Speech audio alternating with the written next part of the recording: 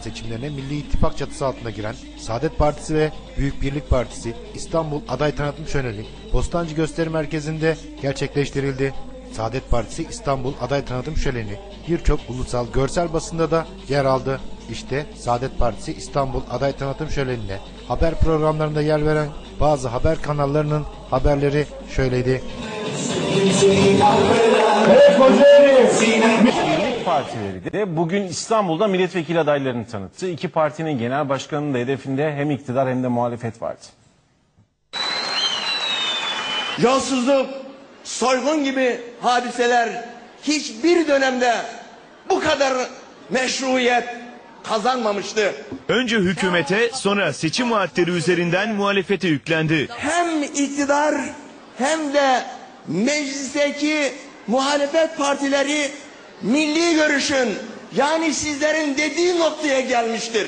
Saadet Partisi ve Büyük Birlik Partisi bugün Milli İttifak toplantısını yaptı, İstanbul adaylarını tanıttı. İki genel başkanın da hedefinde hükümet vardı. terörle ve teröristle masaya oturup yıllarca müzakere edip pazarlık edip daha sonra da masanın bir tarafına oturmak devletin çöküşü olur diyenler gibi milleti aldatmayacağız. Mustafa Kamal Aksa muhalefeti seçim vaatleri üzerinden eleştirdi. İyi de siz meclistesiniz. İşçiye, memura, emekliye iki ikramiye verilmesi için kanun teklif ettiniz mi? Seçim meydanına girince mi hatırladınız? Ardından da oy vereceklere seslendi. Evet, bunlar çalıyor, çırpıyorlar ama yine de oyumu oraya vereceğim diyen kardeşime de hatırlatmak isterim. Bir kötüle, bir haksızlığa yardımcı olan o kötüle iştirak etmiş olur. Saadet Partisi ve Büyük Birlik Partisi liderleri İstanbul'daki tanıtımın ardından Kocaeli'nde seçmenle buluştular. Seçimlere ittifak yaparak girme kararı alan Büyük Birlik Partisi ve Saadet Partisi seçim çalışmalarının startını verdi. Milli İttifak İstanbul'da adaylarını görücüye çıkardı. İsrail'deyiz. İstanbul'umuza hoş geldiniz.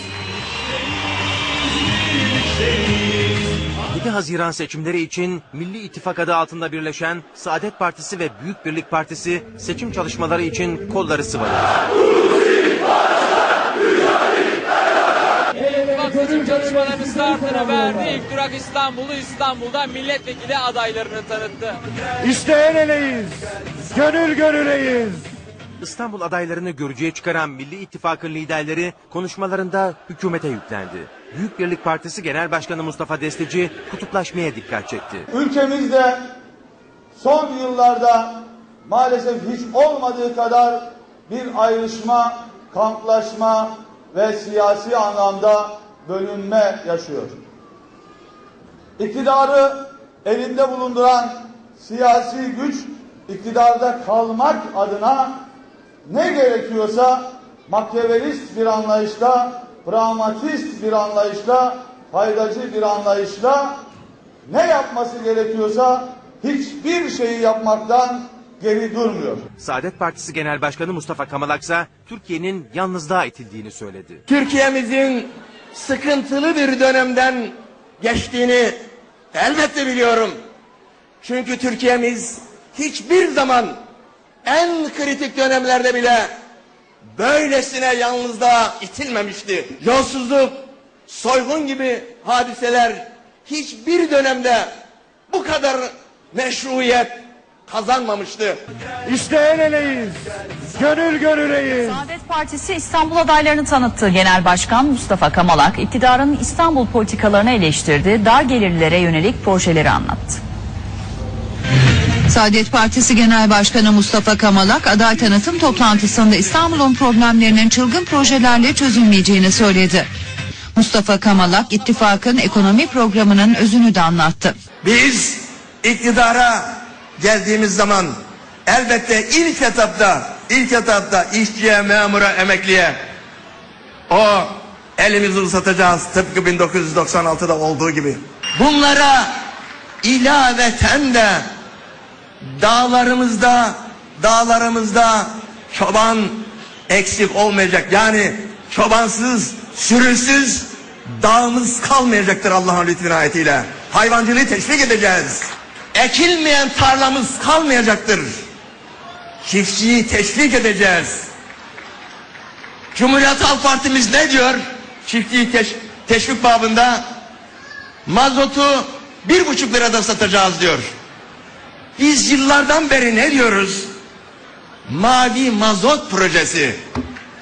Yani çiftçiye vergisiz mazot. bir seçim olmayacak. Çünkü maalesef ülkemiz darbe anayasasıyla yönetiliyor. Hala bunun suçunu 1980 darbesini yapan Kenan Evren ve arkadaşlarına yıkamazsınız. 33 yıldır bu ülkeyi siviller yönetiyor. 13 yıldır da Adalet ve Kalkınma Partisi iktidarı var. Şimdi hangi yüzle millete gidip de ben yeni sivil demokratik anayasa yapacağım diyorsun. Artık bu büyük Türk milleti buna inanmaz. Yaşayabilmek için bir araya gelmemiz lazım diyoruz. Oyunu bozmamız lazım diyoruz. O münasebetle bütün kardeşlerimize sesleniyoruz. Gelin diyoruz. Gelin. Yaşanabilir bir Türkiye'yi yeniden kuralım. Tüm insanlığın muhtaç olduğu adil düzeni yeniden inşa edelim. Seçime birlikte girme kararı alan Saadet Partisi ve Büyük Birlik Partisi çalışmalarını sürdürüyor. İki partinin lideri İstanbul'da milletvekili adaylarını tanıttı. Tanıtım propagandasında Necmettin Erbakan'la helikopter kazasında yaşamını yitiren Muhsin Yazıcıoğlu da unutulmadı. Milli İttifak barajları yıkacak. İki partinin genel başkanı Mustafa Kamalak ve Mustafa Destici salona bu sloganlarla girdi. Milli İttifak çatısı altında seçime hazırlanan Saadet Partisi ve Büyük Birlik Partisi İstanbul'da milletvekili adaylarını tanıttı. Genel Başkan Yardımcımız ve İstanbul Milletvekili adayımız Osman Tüfekçi. Saadet Partisi Genel Başkanı Mustafa Kamalak diğer partilerin seçim vaatlerinden bahsetti konuşmasında. Ana muhalefet partisi genel başkanı ve bir bütün olarak Cumhuriyet Halk Partimiz işçiye, memura, emekliye yüzde elli zam diyor. Ne zaman söylüyor bunu? 2015 yılında. Biz ne zaman söylemişiz? 2001 yılında. Muhalefet partilerine bir de sorusu vardı. Cumhuriyet Halk Partimize ve Milliyetçi Hareket Partimize bir soru yönetmek istiyorum. İyi de siz meclistesiniz. İşçiye, memura, emekliye iki ikramiye verilmesi için kanun teklif ettiniz mi? Var mı böyle bir teklifiniz? Seçim meydanına girince mi hatırladınız? Büyük Birlik Partisi Genel Başkanı Mustafa Destici ise Türkiye'nin ayrışma, kamplaşma ve siyasi anlamda bölünme yaşadığını savundu. Milli İttifakımız güçlü bir grupla meclise girecek. İktidar olacak. Bu maya Türkiye'de iş başına gelecek ve bozulan düzeni tekrar düzeltecektir. Bostancı Gösteri Merkezi'ndeki aday tanıtım toplantısında iki parti için önemli olan isimler de unutulmadı. Merhum Başbakan Necmettin Erbakan ve helikopter kazasında yaşamını yitiren BBP'nin kurucu genel başkanı Muhsin Yazıcıoğlu'nun konuşmalarından bölümler dinletildi. Maneviyatçı olmaya mecbursun. Sende maneviyat boyutu yok. Genel başkanları İstanbul'daki Giresun günlerinde el ele verip horon oynadı.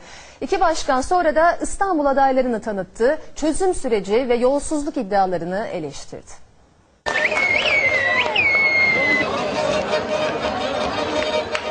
El ele verip horon teptiler.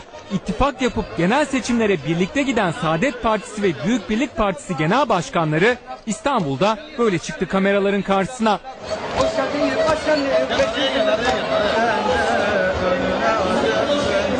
İki başkanın da programları yoğun. Saadet Partisi lideri Mustafa Kamalak ve Büyük Birlik Partisi Genel Başkanı Mustafa Destici İstanbul Milletvekili adaylarını tanıttı.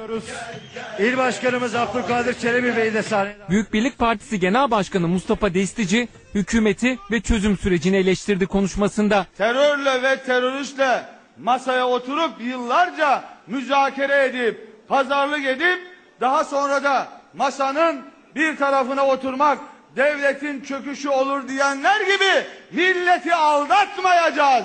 Terörle ve teröristle müzakere olmaz, pazarlık olmaz, mücadele olur diyeceğiz. Saadet Partisi Genel Başkanı Mustafa Kamalak da topa tuttu hükümeti.